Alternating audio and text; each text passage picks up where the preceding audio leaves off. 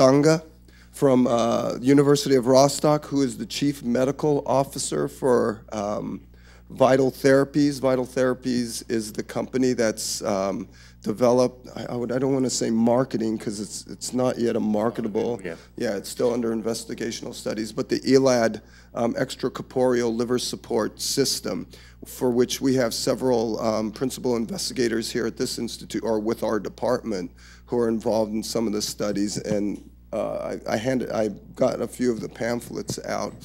Um, he's been involved um, with extracorporeal systems for a number of years. I'll let him elaborate on that. Um, but he's going to talk to us uh, basically about the ELAD system and some of the studies that are available here.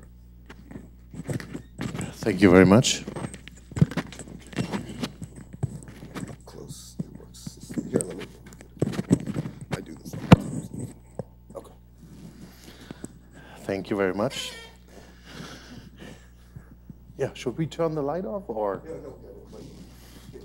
Okay, yeah, good morning. My name is Jan Stange and I want to talk to you about uh, extracorporeal liver support, not only about the ELAD system, which is a bioartificial human cell-based therapy, but also um, since we're all working in this field now, what was the actual background of extracorporeal liver support, the initial intentions, what did we have when we started off all of that more than 20 years ago and where we are today. Um, my primary um, place of work was the University of Rostock, where we invented the MARS device, which is an albumin dialysis machine.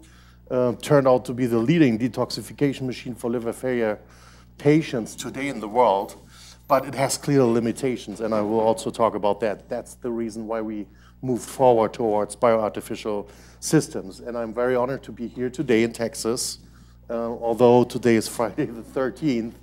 So, um, uh, and I have to fly back today, so I hope, um, you, I hope everything will be okay. So in this uh, talk, oh, okay, yeah. Well, th this is not my first rodeo in Antonio. Actually, my girlfriend is a former rodeo rider from here. Uh, she lives in San Diego now, so I, I have to go back alive today. Um, so where did we come from? What was the original rationale of liver support when uh, the pioneers started with that actually 40 years ago? And then uh, we also talk about what we have today and what it can do and what it cannot do. And uh, I would also like to uh, show you that our perception of liver failure as a status of endogenous intoxication has changed a little bit towards uh, uh, centering the albumin function in the middle of that, and that is affected by the toxins that overload the albumin. And last not least, um, due to the limitations that you have if you only do detoxification therapy with extracorporeal liver-like machines, um, why we have to move forward to bioartificial devices. It's not just the complexity of liver failure, it is also the fact that uh, bioartificial devices can actually um, induce a recovery of the patient's own liver. And I think that would be the holy grail. So this is where we will talk about ELAD. So first of all, why did we start the detoxification thing? Um, chronic liver failure, many of those patients are compensated, you know that. Usually it's some precipitating event that pushes them into liver failure. It can be a bleeding and an infection. In alcoholic hepatitis, it's uh, the massive intake of alcohol. So those patients are in liver failure. And um, as long as you don't have end-stage cirrhosis with bridging fibrosis in the biopsy, there's still a chance if it's the liver cells that are damaged, the liver cells itself, that they can recover by means of uh, regeneration. And um, what you need for that is cells that are capable to recover the liver tissue. And what you also need for that is that you have some metabolic environment that allows those cells to recover. And herein lies the problem in liver failure, which is basically a vicious cycle. Because the nature of liver failure is that toxins accumulate due to the incapability of the liver to metabolize these toxins. And they do two pretty nasty things. The one is that those toxins in a vicious cycle, continue to damage uh, the hepatocytes. It's known that if you have bile acid levels higher than 50 micromole per liter in your blood, which is not that much, that it can already promote apoptosis in liver cells. This has been very nicely shown by Greg Gores in the Mayo Clinic. And secondarily, and I think uh, all clinicians will appreciate that, my background is actually internal medicine, um, kidney and liver, is that uh, you have all those secondary organ dysfunctions because of the toxins. They cause hepatic encephalopathy, they are vasodilators, so you have hypoperfusion of the organs. The first organ where you see that is basically my specialty, it's the kidneys. And then you have this mixture of hepatorenal syndrome, but also acute renal failure because the toxins are also damaging the tubular cells. So there's very rare something like a clean hepatorenal syndrome. It's very frequent, a combined um, acute tubular necrosis with hepatorenal syndrome and hypoperfusion due to hemodynamic um, insufficiency. Uh, the toxins harm the bone marrow, harm the immune cells, and uh, everybody knows that those patients are way more prone to sepsis because of the immune system that is affected. And all those things are obviously not really supporting an environment where a liver can recover and regenerate. And that was the idea of removing toxins that accumulate in liver failure by detoxification. So what is specific of those toxins? Uh, the, the, healthy liver, as you know, removes mostly toxins that are bound to albumin. And uh, in the liver, basically by detoxification, it uncouples the toxins from the albumin.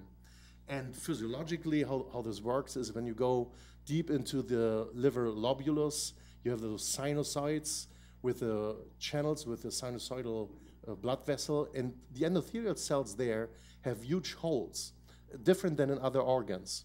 And the holes basically keep the blood cells inside, but uh, albumin, other than in other vessels, can actually travel through those holes, and that brings the albumin into direct surface contact of the liver cell. And that's important because the toxins that are metabolized by the liver are given of the albumin through the membrane into the liver cell, detoxified, and then the albumin travels back, basically um, unloaded of those toxins. If, if you have liver failure, that is the process that doesn't work anymore. The liver cell cannot detoxify, the toxin stays on the albumin, and over the period, you basically really have an accumulation of toxins per albumin molecule. So the patient starts to get jaundiced and uh, accumulates those toxins.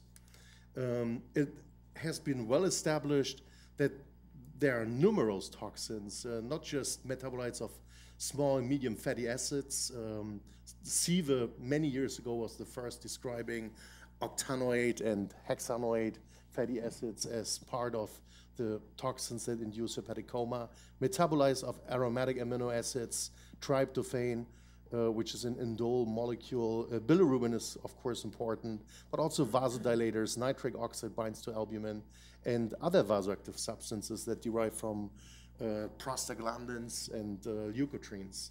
And uh, the relation between those toxins and the secondary clinical complications that um, really endanger your patient and can actually cause death uh, as shock or secondary hepatorenal syndrome hepatic encephalopathy all the way to liver coma has been well established. So the pathophysiological meaningfulness of toxins is more or less undoubted today. Um, so what can we do to treat that? So the first dialysis machines, of course, only can remove water-soluble toxins. You cannot remove albumin-bound molecules with a dialysis machine because the albumin does not fit through the pores of a dialysis membrane, and it shouldn't because you don't want to remove all the albumin of the patient. So that doesn't work, and that's why detoxification specialists came up with those new era of detoxification machines. One is the albumin dialysis machine, uh, Mars. Prometheus is, uh, looks pretty much the same. Technology is very different though, because uh, in Prometheus the pores are actually enlarged and then they try to remove the albumin-bound toxins by perfusing the albumin toxin complex over sorbent. So it's kind of a selective plasma perfusion therapy. And then there's a lot of new stuff coming up in the next years that uh, you will probably hear about. So as I said, albumin dialysis is the one therapy that made it actually to FDA approval in 2012. And what you do there is you still use a dialysis membrane which is impermeable to the albumin itself, but you add albumin into the dialysate solution. and you use a very specific type of dialysis membrane, meaning that uh, the outside of that membrane has to be so open, like Swiss cheese almost, that the albumin molecule, which is 65,000 Dalton approximately, can permeate into the membrane from the outside and get into close contact to what we in dialysis call the inner layer of a dialysis membrane. And the inner layer, that's the actual membrane that uh, regulates what can pass through and what cannot pass through. And that thickness of that membrane is only 100 nanometers. And 100 nanometers is a distance that actually a toxin can jump from the albumin in, on the blood side and actually go over to the albumin in the dialysis side. That's the key. And that's why you can see here very nicely clean albumin going in, into the dialyzer and it comes out thickly jaundiced. Um, you, you would not have that if you would do just water dialysis. The albumin almost acts like soap if you wash aggressively lipophilic toxins. And um, the, the technique, when you really look into that, also is based on this thin layer membrane. The thin layer membrane also has the capability to absorb those toxins from the albumin molecule on the blood side. And then what you do is basically get clean albumin from the other side, and the clean albumin takes off those toxins from the membrane. So we know today that the membrane physical chemistry itself is also kind of a catalyzer of loosening the toxin albumin complex binding on the blood side and allowing it to go over to the dialysis site. So you can remove those toxins. And um, since albumin is expensive uh, in the US even more than in Europe, I just learned, uh, it's not thrown away like normal dialysate. Uh, it's expensive soap, you have to recycle it. So it gets dialyzed, and there's two different sorbents that grab the toxins from the dialysate albumin in order to make it possible to reuse it again. So the clinical effects that we saw, the first was that you can really reduce the number of worsening uh, hepatic encephalopathy and the number of patients who suffer from worsening of renal function. That was the first group basically uh, most alcoholic cirrhotic patients with acute decompensation published in Hepatology 2002. And um, that, that was the first indicator that you can improve um, hemodynamics, mean arterial blood pressure, patients develop less encephalopathy. So we went to the US, and the first indication that was studied on an FDA controlled study was um, acute hepatic coma in chronic cirrhotic patients. Um, and that was led by uh, the University of San Diego, by my friend Tarek Hassanein. Uh, we had uh, seven sites, almost seven patients. And what we saw is patients with hepatic coma grade three and four. So that's pretty advanced hepatic coma. Uh, more than 50% were already intubated for airway protection. And the goal was if you treat every day for five days, can you have the patients improved by at least two grades uh, earlier and more frequent. Improvement by two grades basically means if you have stage four coma, you cannot wake up the patient, he's ventilated. Um, if he improves by two grades, you can actually talk to the patient. Same if you come in as grade three, he has to improve to grade one. That's a clinically pretty impressive improvement. The reason we did that is that hepatic coma or encephalopathy as a primary endpoint is highly under discussion because FDA would say it's very subjective, and when doctors come in, they usually say, "Oh, this is a two to three stage coma." Uh, we wanted to have a clear, impressive clinical improvement. That's why there's at least two grades. And um, you may know that um, we also developed an SOP based on the West Haven criteria that really gave every patient a defined HE grade. So there was nothing like three to four or one to two. Um, it was a clear-cut definition. And uh, it was significant at the end. FDA uh, accepted the study, uh, cleared this device for the treatment of acute hepatic coma in 2012. So it's available in the US. Uh, was sold by Gambro. Gambro got now bought by Baxter. So it's a Baxter therapy that you can actually have. One thing that we didn't expect to be so dramatic when we in invented that was that um, detoxification actually improves hemodynamics. So the first indications that we had was that patients with a low mean arterial blood pressure, many cirrhotics, as you know, have mean arterial pressures less than 60, less than 55. millimeter mercury. Uh, if patients get on treatment, you can actually see an improvement of the mean arterial pressure. Um, then we learned, is it really a specific toxin that you have to remove? Or what role does the albumin molecule play in, uh, in this organ intercommunication? Many people today look at albumin as, yeah, we know it binds some toxins and some substances, transports them, but mostly it's binding water and is important for your colloid oncotic pressure, maintaining blood pressure. And um, what we learned with detoxification of albumin-bound toxins is it's more than that because you have always substances that are uh, potentially toxic vasoactive substances. And as long as you have a working liver, clean albumin comes through the circulation and covers those substances. And what happens in liver failure is that the overloading, you remember the beginning of the talk, the overloading of the albumin basically prevents from the albumin in a jaundiced patients to bind those substances in the circulation. And this is why those substances accumulate in all those organs where you see then the effects, like the kidneys, in the tissue of the brain, and the tissue of your hemodynamic system. And it causes vasodilation, hepatic encephalopathy, and renal dysfunction. And what we try to do with detoxification liver failure is reinstating the capability of the albumin molecule of a jaundiced or endogenous intoxicated patient by removing those albumin-bound toxins.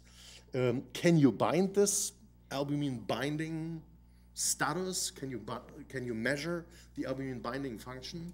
And uh, yes, you can. Uh, from pharmacology, they do all the time when they develop a new drug, they have to know what is the albumin binding rate, what's the biological availability of that. So there are those methods where you can actually measure the unbound substance of an albumin, a phen albumin bound substance.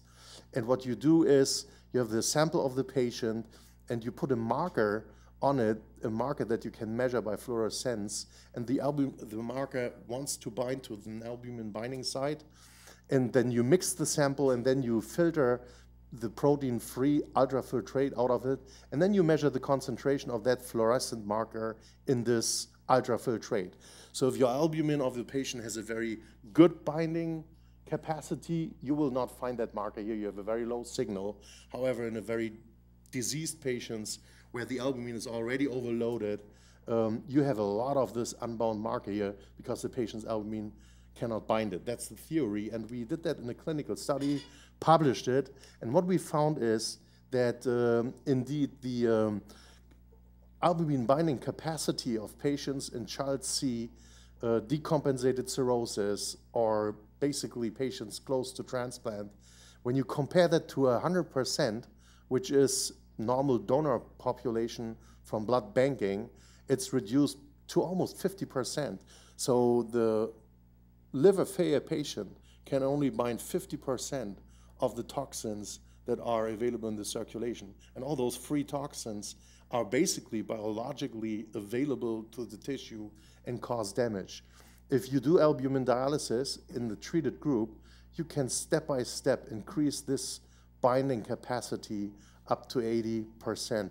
We are still not able to make it all the way up to healthy uh, patients. And I think this is where the challenge for development for detoxification in the future is. What is important is that we found that if you cannot improve that within seven days, um, to improve it above 40%, then those patients have a very high mortality. And only in those patients where you're successful in improving and reinstating albumin binding capacity, you have a better outcome, a high, uh, a better uh, survival rate. So that's basically a good marker for the efficacy of detoxification in liver failure as a treatment of liver failure. An unexpected effect also of uh, detoxification with albumin dialysis was that patients who came with intractable pruritus, there were patients who had primary biliary cirrhosis, primary sclerosing cholangitis, who were already on extended drug treatment and still had intractable itching to the degree that they threatened to kill themselves. Um, with albumin dialysis, within three days of treatment, the itching score um, was reduced dramatically. And surprisingly, when you stop the treatment after three days, 80% stay with bearable itching for almost two to three months. So in London and in uh, Barcelona now, there's actually programs where intractable pruritus patients can go to travel um, every two to three months, and it's reimbursed even by the uh, UK health system. And if even the UK health system reimburses something, it has to work. Um, okay, so um, if, if you look at the efficacy of detoxification, so a lot of randomized studies have shown it does improve hemodynamics. There's at least six controlled studies about hemodynamic effects of that. It does improve kidney function which is logical because if you do improve the hemodynamics of a liver failure patient, chances is that his kidneys can recover. Um, and it can reduce the jaundice, that's obvious, removes uh, the bilirubin, clearly improves hepatic coma, um, and the intention is really try to not to have your patient too long intubated and ventilated, and it can improve pruritus. The survival data only in the few studies where we had small populations very well defined, we saw uh, a difference in survival and an improvement of the Kaplan-Meier curve. That's end-stage hepatorenal syndrome type 1 in a population that didn't get transplanted over seven, over 30 days. That is uh, acute alcoholic hepatitis, published in Hepatology.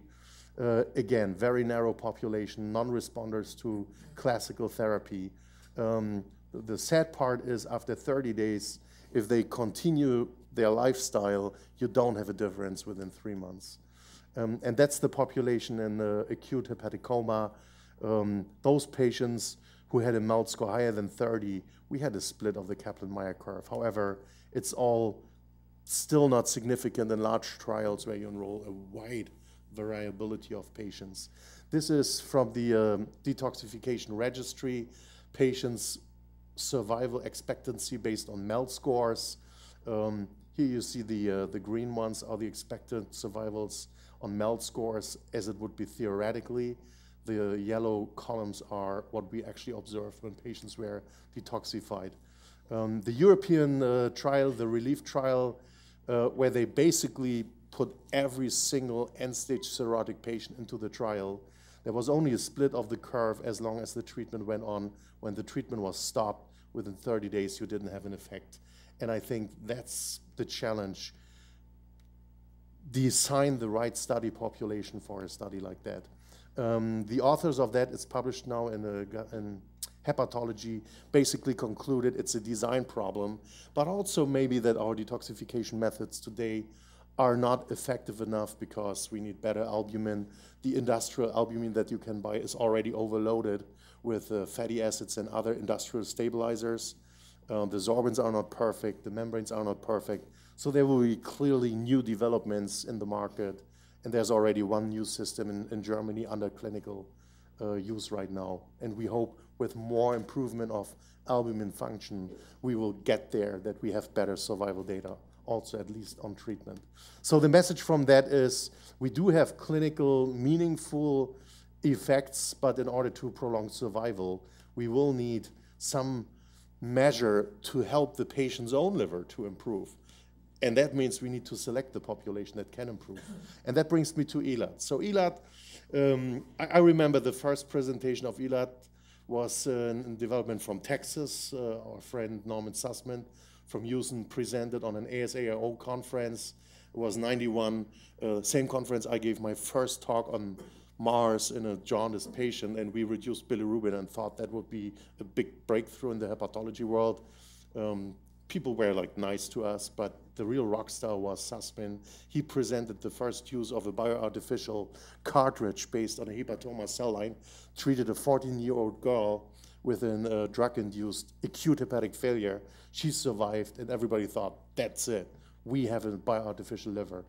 Um, as you know, over the years, this has experienced a number of trials, and uh, never the trials could be actually completed because the companies in the past were not capable of raising the amount of money that you need in order to have a development like that. This is a big program. Um, however, today we are in the lucky situation that the company could convince with the past um, clinical results and is very well financed now. It's on NASDAQ since April and started a first study in a population where we think the liver is actually recoverable, and that is acute alcoholic hepatitis. Different than end-stage cirrhosis, it's really more hepatocellular damage, and that should be able to recover. So the device has 440 grams of uh, C3A cells, and the cells can mimic a lot of biological functions of uh, hepatocytes, and we can talk about the cells later. And um, I came in contact with that after uh, basically Baxter took over the albumin dialysis machine. They asked me to conduct uh, the data safety monitoring board process for their phase 2B trial. And that was in patients with acute on chronic hepatitis, but it was the first time that consequently in the design of the trial, there was a difference made between patients who have end-stage cirrhosis decompensated by a precipitating event like infection or bleeding, and then acute alcoholic hepatitis, which in my opinion is a total different entity. And uh, there were a lot of sites participating in that, and um, the, the inclusion criteria roughly were basically the diagnosis had to be either alcoholic hepatitis or acute and chronic liver failure precipitated by something else and uh, patients had MELD scores between 18 and 35, so there was an upper cap, and patients had to have consent. And exclusion criteria uh, a little bit more um, selective, so patients with risk for bleeding less than 50,000 platelets, uh, dialysis um, requiring patients, high INRs were excluded, and then patients basically who had any kind of contraindication for extracorporeal circuits. So if they were already in septic shock, were already bleeding, so that you can't administer anticoagulation, which you have to with devices like that, all those patients were basically um, excluded and also transplanted patients were excluded. Um, the events that were observed, pretty nothing that would stick out of what you would see in any extracorporeal treatment of those patients. So although this is a biological therapy with a hepatoma cell line, what you see is still the typical effects that uh, there's risk of bleeding, there's risk of hemodynamic effects because you have an extracorporeal circuit stealing volume from the patient, and there's a risk of catheter-related uh, bleedings or infections. And um, what was observed is that in the population that had acute alcoholic hepatitis, there was a pretty encouraging split of the Kaplan-Meier curve. So the company went back to the FDA and said, well, obviously this stratification was a good idea because we have an effect in acute alcoholic hepatitis patients who can recover, but not in end-stage cirrhotics. Can we continue just with this one arm? And FDA said, that, that is a good idea, but you need to restart with a new study and that's basically what uh, the company did. So uh, when we looked into the data, the, the, conclusion is it was effective in acute alcoholic hepatitis, and um, that's why the company decided to continue with the first exclusively alcoholic hepatitis, including patients, and that is the Vital Therapy Study 208, which just uh, concluded the enrollment of 203 patients as of January 31st and I can talk about that later. Um, so our hypothesis when we started the 208 study was non-alcoholic induced acute on chronic has usually precipitating events like infections or bleeding. The European CLIF consortium, the chronic liver failure consortium, looked into the different types of acute on chronic liver failure, and now they are really placing alcoholic hepatitis in a very separate category than cirrhotic patients that decompensate with complications of portal hypertension, if you want so. And uh, what we thought is in alcoholic hepatitis, for some reason, the C3A cells are capable of recovering the inflamed hepatocytes. That's the medical background. And if if you look at that to the left side, patients who have acute liver failure, everybody agrees that theoretically they could recover because the liver can regenerate. If you have patients with chronic liver disease, for instance, due to alcohol, starting with steatosis, it turns into fibrosis. Finally, you have someone cirrhosis. In between, at any time, they can have an episode of alcoholic hepatitis. And the key question is, as early as this happens, when they have acute alcoholic hepatitis and fulfill the criteria for high mortality, the high Maddrey's score with high bilirubin, high INR, it, it's not related whether they are here in the disease process or here. The difference is when it happens here, they can actually recover, and if they stay away from alcohol, they can have a long life. And alcoholic hepatitis, again, different than end-stage cirrhotic, is a systemic inflammatory disease which is induced by the acute alcohol intoxication. And ELAD, as a cell-based therapy, can actually do more than just detoxifying like the albumin dialysis machine. Because what we know is that the cells produce a lot of proteins. And I think this is the unique point in ELAD. When you look into the um, excretory proteome in the media of C3A cells cultures, a lot of those molecules that come out are basically acute phase response proteins, anti-inflammatory proteins, and also growth factors that can induce um, regeneration of the patient's own hepatocytes. Uh, this was a work by the US military, by the way, not done by the company.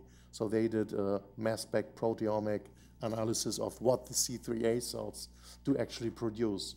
And uh, what is interesting is this reaction of the cells is specific to the patient. So depending on the IL-6 levels and the interleukin-1 levels of the patient and the TNF levels of the patient, as more inflamed he is, as more those cells will switch over to an acute phase response mode and help basically the patient's own liver to recover. So that's our hypothesis that we can see that um, in acute alcoholic hepatitis, patients do respond to the C3A therapy, but we need to support that with uh, future studies. And that actually brings me to, although we have concluded the first alcoholic hepatitis study in those patients, I would like to show you um, the um, criteria for the follow-up study, because there will be a follow-up study since FDA required a confirmatory study, and that is the study 210. Um, and I will also show you the difference between that protocol and, and the 2.8 study. So this is the study where you, you can participate now. It's uh, in severe alcoholic hepatitis. It used to say uh, in this confirmatory study, because it was designed in cooperation with the European authorities, that those need to be alcoholic hepatitis patients who have failed even steroid therapy. Because when we designed the study two years ago, the Europeans still totally believed in steroids have some effects. So they wanted us to do steroid failure therapy. Um, that was the initial title, randomized. It's an open label study, multi-center study and controlled, uh, but open label because we cannot have a, a placebo ELAD machine. It wouldn't be ethical to expose patients to extracorporeal circuits and catheters without actually providing a therapy. Um, again, that's the ELAD machine. Those pictures are a little, bit prettier. Um, it is based on an uh, heart lung assist machine, but that's mostly because the cells, the 400 grams of cells, they need a two liter per minute flow of um, the media circulating it in order to maintain the oxygen that the cells need. You can actually measure uh, how the cells breathe, and you can see on this screen how much oxygen the cells are consuming, which is a proof that they're actually alive. Um, that is the scheme of the circuit. So the patient has a very dialysis-like extracorporeal loop with a pump. Here's the filter. Uh, what is different to dialysis is that that specific filter has a pore size that allows albumin to pass through at a certain amount, but any other larger proteins like fibrinogen are not allowed to go through. So this is what we say as a cutoff of 100,000, 120,000 Dalton. So large proteins cannot go through. And they go then in what we call the bioreactor loop, which is driven by this hard lung machine um, impeller pump with an oxygenator, making sure the cells get enough oxygen. And here is where the cells produce proteins and uh, metabolize uh, molecules. And then in the return line, there's only a cell filter. So all the proteins that come out of the cells go back into the venous line of the patient, go back into the patient. And um, we, we, know today the cells are um, capable of fulfilling a lot of the um, functions that hepatocytes have. They can produce hepatocyte-like proteins, process toxins. They do contain P450 enzymes. And uh, I think most important is really the production of immune modulatory and acute phase response proteins, but also growth factors encouraging the patient's own liver to recover. Um, we know also they do some um, clotting coagulation factors, but also um, antithrombin 3, and as I said, immune modulatory components and acute phase response proteins, alpha-1 antichymotrypsin, alpha-1 antitrypsin. So the study uh, that we do now, again, um, it's a comparison between treating patients with this extracorporeal device and the control arm gets standard of care, whether it has steroids in it or not. And the primary endpoint, again, will be the survival at day 91. Um, there will be post-discharge evaluations all the way up to the primary endpoint time. This is 91 days.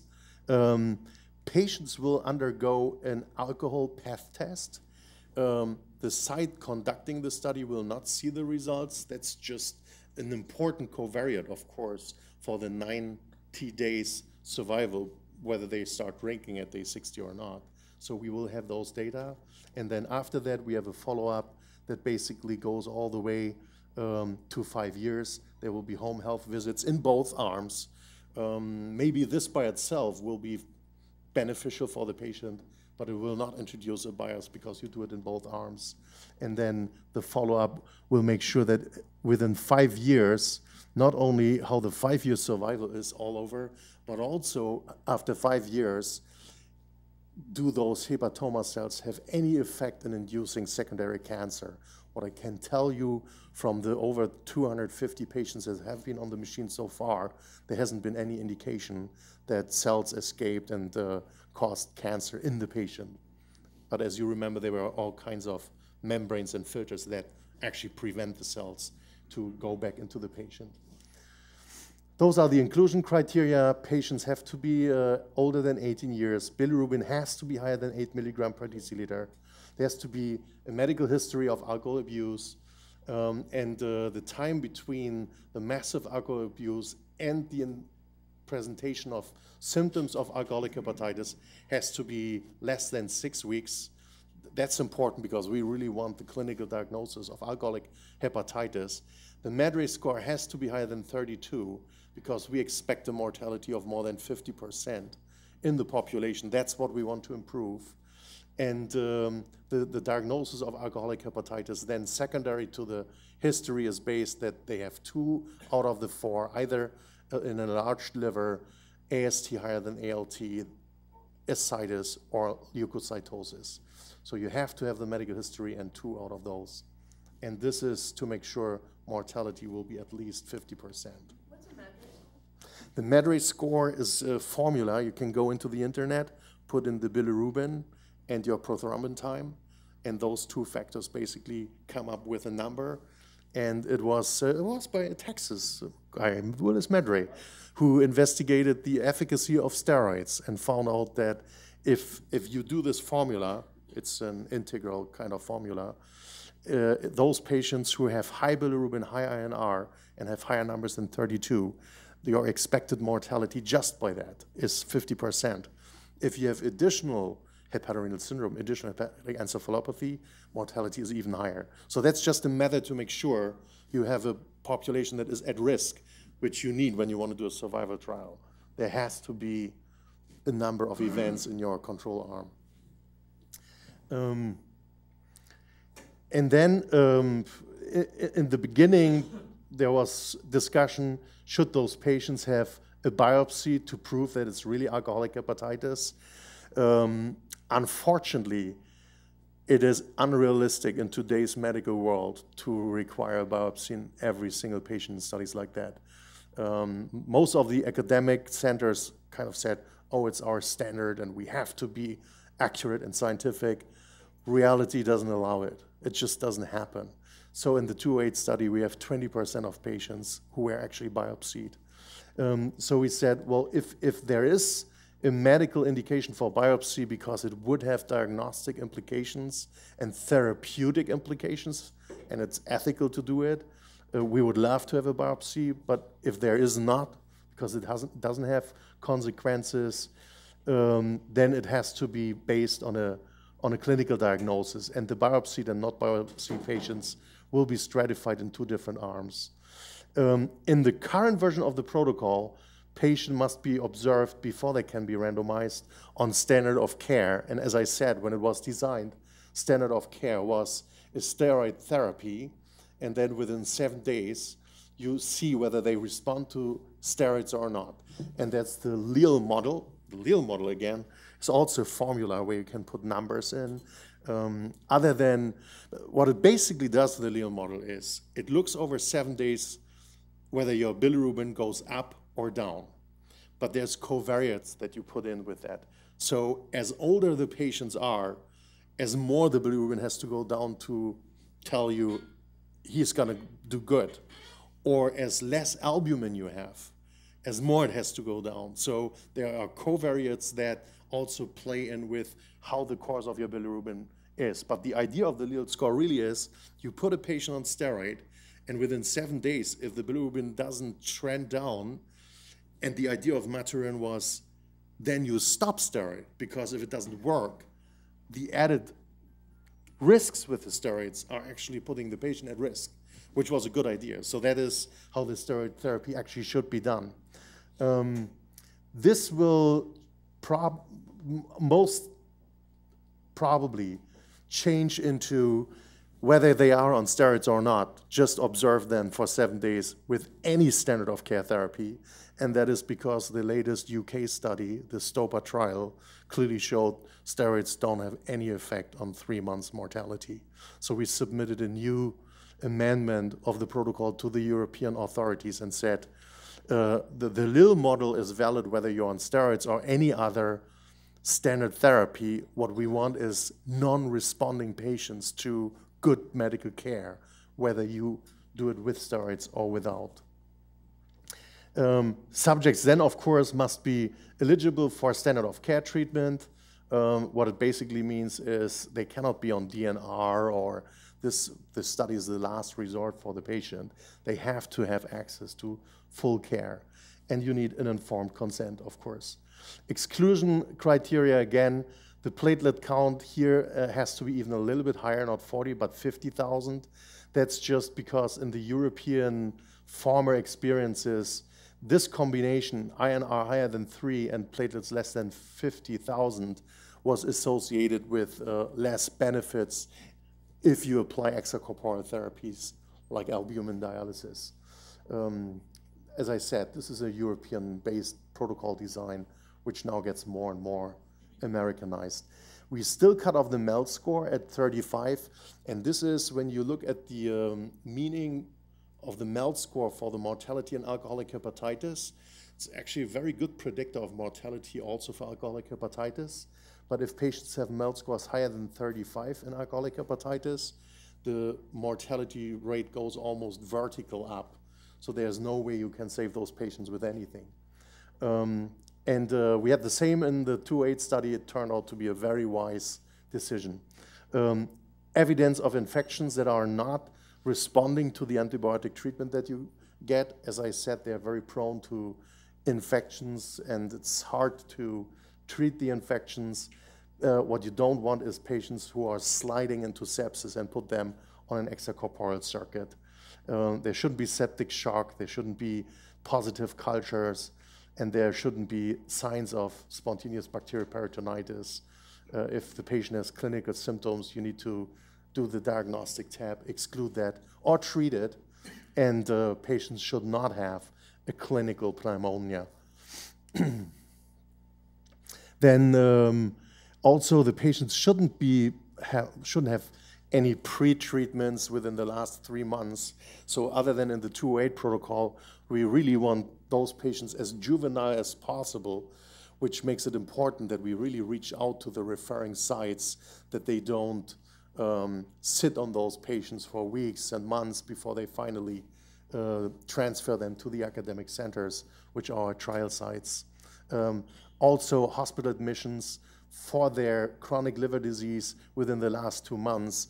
So if he has been in the hospital two months ago because he had refractory ascites or the patient had an esophagus variceal bleeding, in this study we will exclude them because we really want them as early as possible in the process of chronic liver disease.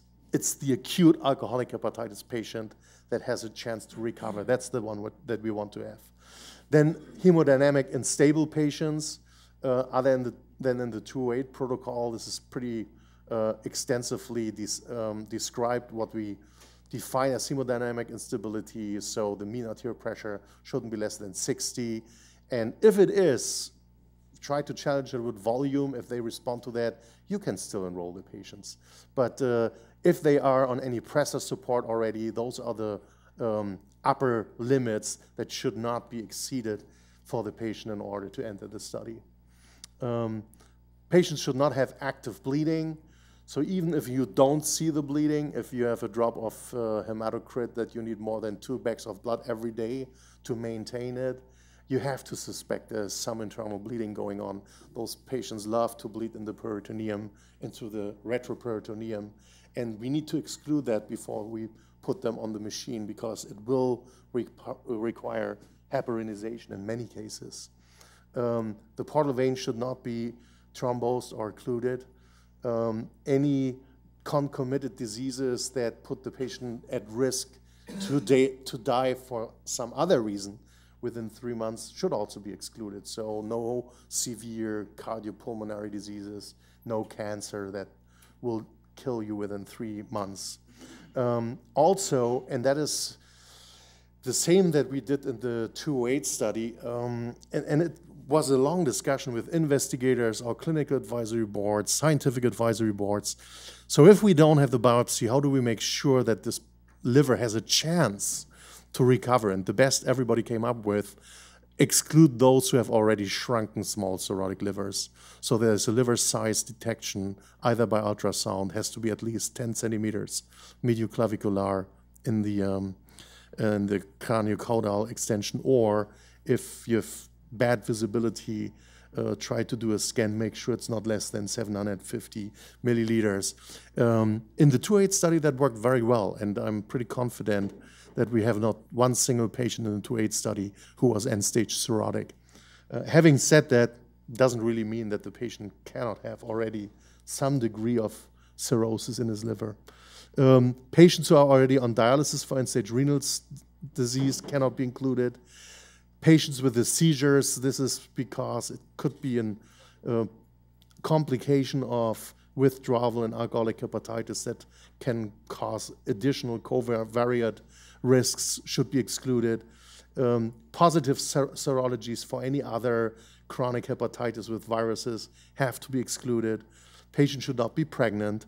Participation in another investigational drug. Um, well, believe it or not, in the 2.8 study, we had one patient who turned out to be pregnant before we, yeah, right, you're, you're absolutely right, but it happened. And uh, that's why we look at this test before we randomize. Luckily, that patient never got randomized, but it does happen.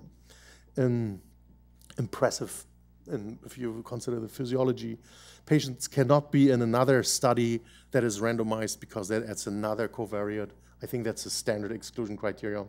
And they cannot be listed or planned for to be transplanted within 90 days. I know the rules basically don't allow you to do that anyways, uh, but there are sites that are sometimes planning to transplant alcoholic hepatitis patients. So it happened. And um, it, this is a pre-transplant uh, study. I have never seen a liver transplant patient who developed actually alcoholic hepatitis with his transplant but I still hear that sometimes this does happen, and the patient should not have been in a previous ELAD study. Um, now that we have done the 2.8 study, there's a chance that you might see patients that have participated in ELAD in Texas before. Um, this is again what I said, access to full care. They should not have a DNR status uh, on their uh, forehead.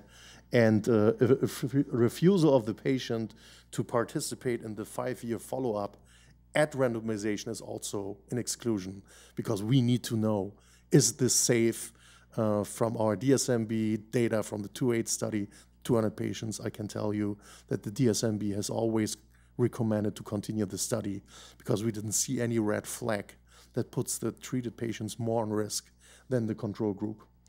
And, uh, and of course, we need to have the chance to follow up on them, so we need to know where they live. So that is the confirmatory study in alcoholic hepatitis. The design is a little bit even more strict than the one that we just concluded in time successfully with 208 patients. The results of the 2.8 study will not be um, available before the uh, early second half of this year because the patients are still in the 90-year observation period, which is the endpoint. So at this point, we don't know what the results are yet. There will be a um, um, public announcement, earning call of the company displaying exactly what the publication policy will be for the 2.8 study. And so as so far, we don't have anything from the 2.8 study that would change our strategy to continue with that.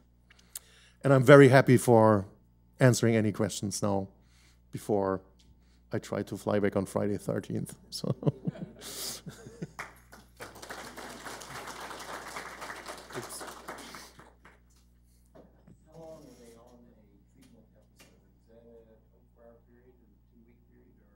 Yeah, thank you. Great question. 208 study, it was continuously. That's why they had to go on the ICU 24 hours a day for five days.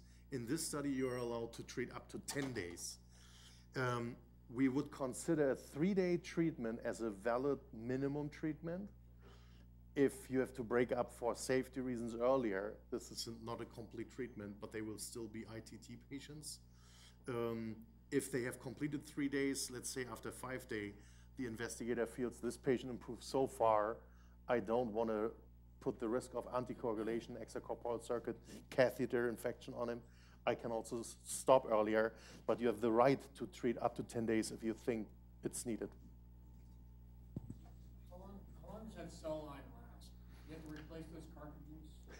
Yes. Uh, also, great question. Uh, in approximately 10% of our patients, um, during during the treatment, what we do is when the patient is on the treatment, you see the oxygen pressure difference before and after the cells. This tells you that the cells are alive and working. If this difference goes down, which sometimes happens for all kinds of reasons, could be the toxins from the patients, could be inflammatory substances that harm the cells, could be high bile acids.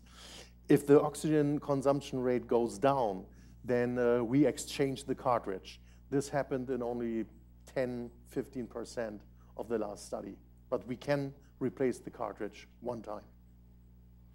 And where does this cell line come from? That's a wonderful question. Um, the HepG2 cell line is very well known.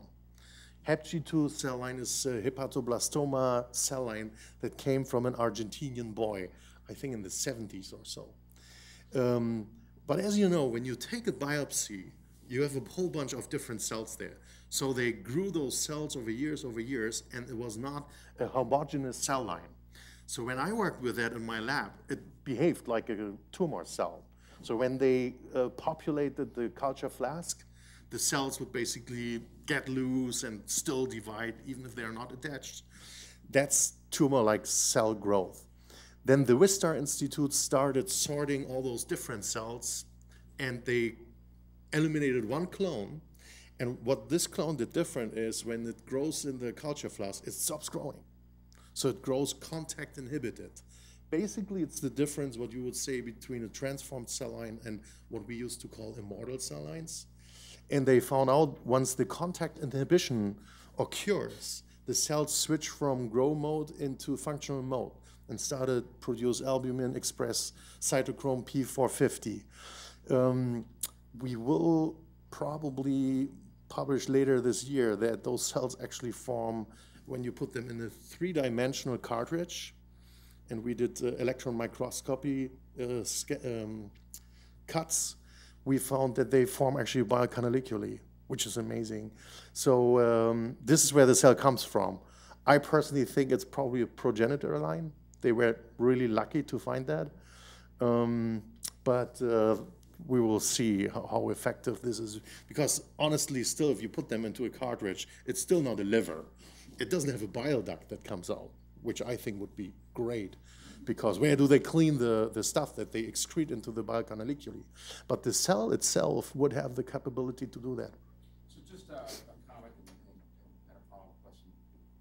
This was really one of the best talks I've heard on physiology of, of cephalopathy and albumin and so forth. And, and I was your, your PowerPoint site. Uh, Thank you.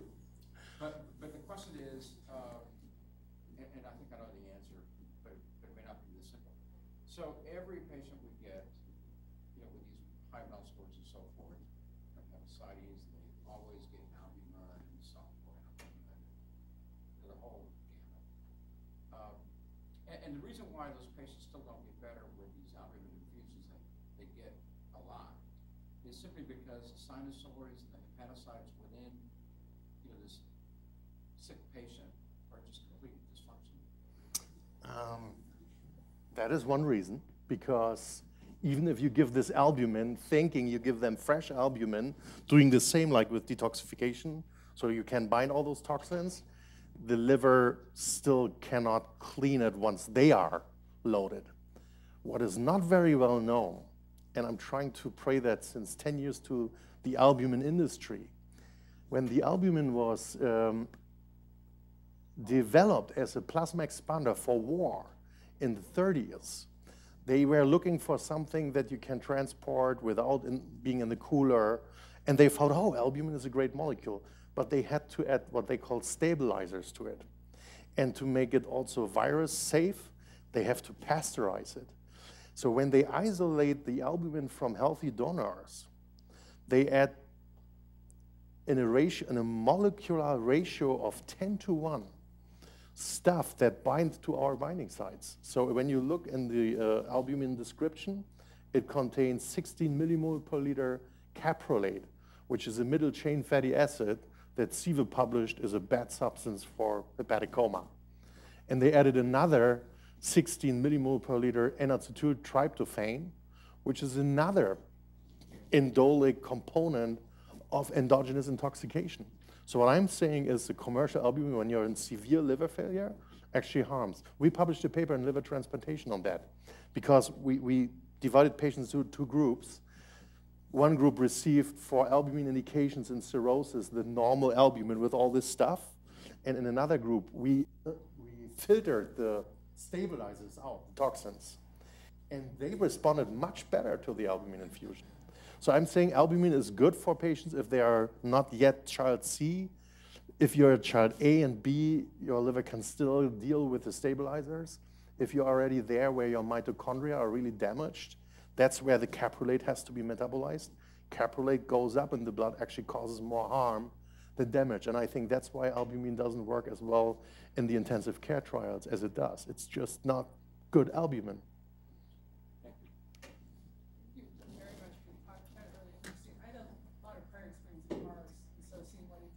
Where, where was that? Uh, Mayo in Minnesota. But, um, but so this ELAD stuff's super exciting. The question I have is, is this pamphlet is for a different study, study 212 with very different inclusion exclusion criteria. Yes. Are they both ongoing trials right now? Yes, the 212 study is basically uh, for patients that have acute liver failure or that have resection or that have a primary non-function and transplants. It will be a non-randomized study though. And we discussed that with FDA, and FDA absolutely agreed. Because whenever you have an acute failure population, they qualify for high urgency transplant, and it destroys your study design. I mean, the Fulmar study of Faouzi in France showed that. Uh, he had a positive result with MARS when the patients were waiting for the transplant at least three days, but the majority received the transplant within a day. So, so that's why I'm sorry that I didn't talk about the 212. This is, this is an, a non-randomized study for basically an orphan group where you have those three indications. And if we are successful with a 210 and 28, FDA would allow us to use that for a label extension because this is where a medical need is, but there's no chance to design a trial to prove that it's effective in a randomized way. So that's the 212, yes. So the follow-up question is, then the entire, by the time you identify a patient, how long does it take in general before you can actually initiate therapy for tw- If the patient is, if the patient is uh, deemed um, enrollable, he can be randomized within 15 minutes, and the machine within the US can be started within, oh, let's say we randomized this morning, treatment could start tomorrow. When you randomize tonight, treatment can could start tomorrow night. So for the 212 protocol, we will probably not even try to start in the morning. In the alcoholic hepatitis patient, time is not that much of a matter because those patients are not sliding that acutely into death. Um, and, and we found out when the logistics in a hospital are just designed to start things in the morning, you know. But for the fulminant study for the 212, we will push as hard as we can to start as soon as we can because they, they die quick. I mean, these are pretty broad criteria. It seems like most patients would qualify. Um, but if your patient didn't, is there any mechanism for compassionate use for these? Um, I, yeah, whenever you do that, my experience uh, when we did the MARS trial and, and now also with the ELAD study, um, you do not do the program a favor because FDA absolutely dislikes compassionate use. Their argument, and I have to agree with that actually, is, is they say if you think this is a population that will benefit from the therapy, submit a protocol. And that's what we did. I would almost call this a compassionate use kind of population. Uh, but when you say um, almost all one would, all, everyone would qualify, there's a lot of exclusion criteria too. And uh, so we have already looked at 10 or 12 patients for that and only randomized two so far. Yeah, But the MARS is FDA approved now. For the treatment of acute hepatic encephalopathy, yes, it is. Not for liver trauma, liver failure. No. From a traumatic injury or something. I think if you could argue the encephalopathies for. That's correct. As long as they have a compo, yeah, right. As long as they have a component uh, of uh, hepatic coma, grade through. I don't know what the. I think the label only says acute hepatic encephalopathy and acute and chronic liver failure. And that's actually taken over from another machine that was on the market for the same indication that isn't on the market anymore. It was the charcoal hemoperfusion column. Please. Who has the bioreactors? Where do they come from? And can you speak to the manpower issues? Who, who does this? Is, uh, is it dialysis? Oh, yeah, thank you. For, oh, I forgot the most important thing. So in MARS, we tried to teach the centers, and they had to do it by themselves with the acute dialysis stuff. It's a little bit complicated, so that was a hassle. In the ELAD study, the bioreactors are produced in Rancho Bernardo in San Diego. So they inoculate those four cartridges with cells within two weeks. They grow up to the 440 gram, and then they can leave them there with a slow circulation bioreactor for six weeks. So we have always approximately eight cartridges in store that can go to the sites. If the site randomizes, they come there within a day, and uh, then there comes a team of three ELAD nurses that are specialized, because this machine is not as simple as a dialysis machine, because it needs monitoring for the oxygen pressure, and they have to take um, microbiology samples, making sure they are not contaminated. And it's a three people team that is constantly here. And out of those three people, for 24 hours, for the whole treatment time, there will always be one sitting next to the machine. They are not involved in the patient care, though. So their responsibility ends with the catheter. Okay?